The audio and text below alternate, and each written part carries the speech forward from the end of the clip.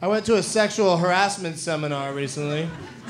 So now I think I'm gonna be pretty good at it. I'm excited. I can't wait to try out what I learned. Nice boobs. Sir. I I like to leave my socks on during sex. And I what? What is the, what is the big deal? It's just me alone at the computer. What difference does it make if I leave my socks on? My tootsies get cold. It's chilly in my parents' basement. I've been in a sexual dry spell, you guys. I'm not gonna lie to you. In the past few months, years, in the f- past few month years, I. it's been two years now. Over the past two years, I've only had sex in months that end in brewery. in years that have an Olympics, just the Winter Games.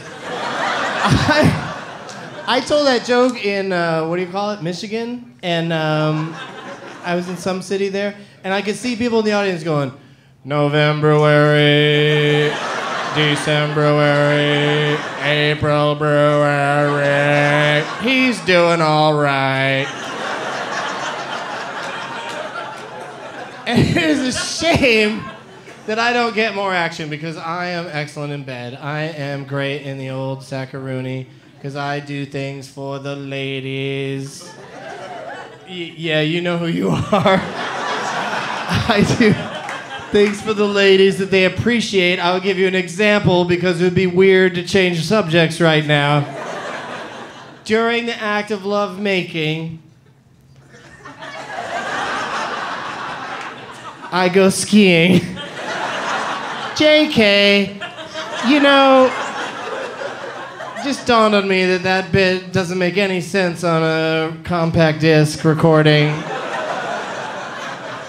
When people can't see that I'm making skiing gestures while claiming to be making love. But during the act of lovemaking, I will actually warn the woman when I'm about ready to wrap it up.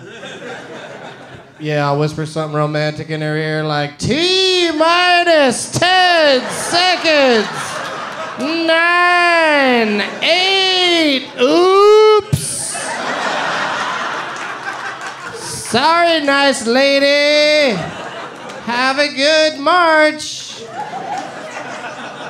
Enjoy your bus ride back to Bakersfield.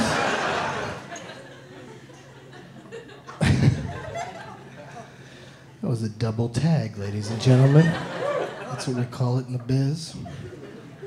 Do you think that today's show weatherman Al Roker, when he's making sweet love to his lady, ever looks her in the eyes and says, Now let's see what's going on in your neck of the woods?